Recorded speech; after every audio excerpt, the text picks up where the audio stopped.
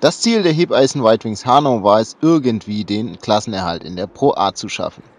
Acht Spiele vor Saisonende stehen die Hanauer auf Platz 12 der Tabelle und haben acht Punkte Luft bis zu einem der beiden Abstiegsplätze. Der Underdog aus der Brüder Grimmstadt bringt mittlerweile auch Teams wie Gotha an den Rand der Niederlage und lässt so manchen Favoriten ziemlich alt aussehen. Wie kommt es zu der enormen Leistung der Hebeisen White Wings Hanau? Liegt es an den Spielern, dem Trainer oder was ist der Grund für diese hervorragende Leistung in den vergangenen Spielen? Aufsichtsratsvorsitzender Harald Nickel schildert seine Sicht, wieso das Team aus der Goldschmiedestadt diese Leistung abrufen kann. Am Trainer, am Team, am Team Spirit.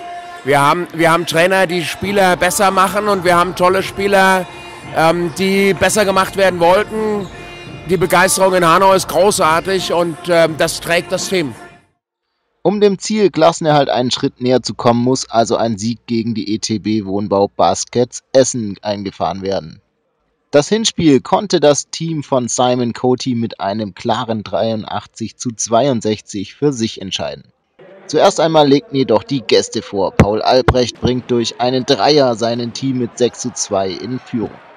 Die Antwort der Gastgeber ließ nicht lange auf sich warten und Luke Logs erzielt den ersten Dreier für sein Team. Simon Coty versucht sofort sein Team weiter anzuspornen, um zu verhindern, dass die Gäste ihren Vorsprung weiter ausbauen können. Nur zwei Minuten später kann Josef Eichler das Spiel drehen und bringt sein Team mit 11 zu 8 in Führung.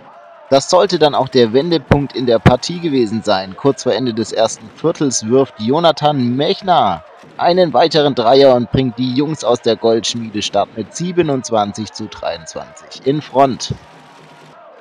Im zweiten Viertel zeigten unter anderem Luke Laux und Josef Eichler, dass auch sie eine starke Dreiermannschaft haben. Von den Gästen kam kaum bis gar nichts mehr, was dazu führte, dass die Hebeisen Weidwings Hanau ihre Führung weiter ausbauen konnten. Nur noch 60 Sekunden auf der Uhr und es hielt keinen der Zuschauer mehr auf seinem Platz. Die Begeisterung für das Team aus der Goldschmiedestadt kennt keine Grenzen mehr und der Slogan Hanau bebt bringt die Stimmung hier in der Main-Kinzig-Halle auf den Punkt. Kurz darauf gingen die beiden Teams mit 55 zu 32 in die verdiente Halbzeitpause. Ist eine dreierstarke Mannschaft der Schlüssel zum Erfolg oder reicht das alleine nicht aus? Diese Frage beantwortet uns Simon Coty. That was a that was definitely a big part of it. You have to hit shots to win games, but uh, our team is a defensive oriented team, and we've got to be uh, very good on defense to win any game. So defense starts with defense, and then when we hit shots, then you can have a big win if you hit shots.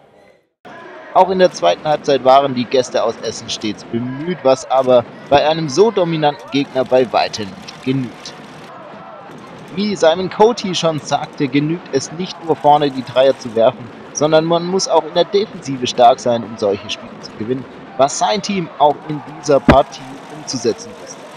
Kurz vor Spielende kratzte das Team aus der Brüder Grimmstadt bereits an der 100er Marke. Miles Cartwright konnte in den letzten Sekunden der Partie noch zum 98 zu 76 Endstand erhöhen das Team von Head Coach Simon Coty ist dem Ziel Klassenerhalt wieder ein Stück näher gekommen. Was Simon Coty zu dieser überragenden Partie, dem Ziel Klassenerhalt und ob er seine persönlichen Ziele, die er sich in seinem Team vor der Saison gesteckt hat, erreicht hat, das sagt er uns jetzt. I'm happy with this game. We played very hard uh, for most of the game, and we got a lot of lot of help from a lot of players. Uh, so it was a step forward for us. We got better today. We are we are building it. It's getting better day by day. We still um, we still have room to grow and get better and build our culture even more. But uh, it's come a long way since the first game. Um, I think it's pretty safe. I think a win on Sunday would pretty much guarantee it.